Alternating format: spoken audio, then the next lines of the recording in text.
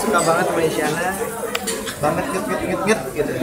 Ngetnya gitu. Kenapa? Karena nggak banyak perempuan penyanyi Indonesia yang yang yang uh, uh, apa ya uh, buat saya uh, menguasai instrumen membuat lagu sendiri bernyanyi dengan proper gitu. Maksudnya saya me- me- mengkoleksi karya dia gitu. Di handphone saya lagu dia ada gitu. Ya kebanggaan buat saya gitu untuk bisa bekerja sama dengan Isyana dan satu panggung bersama dia dan kita akan berkolaborasi juga. Yang jelas eh, kita baru ketemu nanti di studio untuk latihan hari Jumat karena konsernya tanggal 31 Berapa lagu?